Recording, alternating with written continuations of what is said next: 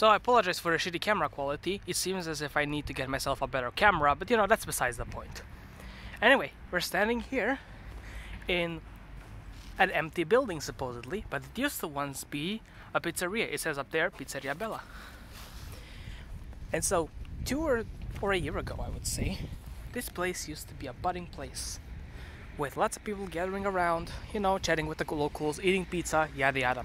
But the place might have been so weird that I said to myself, I bet that this is going to shut down within a year or two, however long it may take. And guess what? It eventually closed down. And if I zoom in a little bit, it doesn't really say here, but here it says for rent, and there's a phone number, which um, probably not the best idea to put on camera, but it's not like I, it's not like people care anyway. So, what can I say except, welcome to Brčko, where dreams come to die.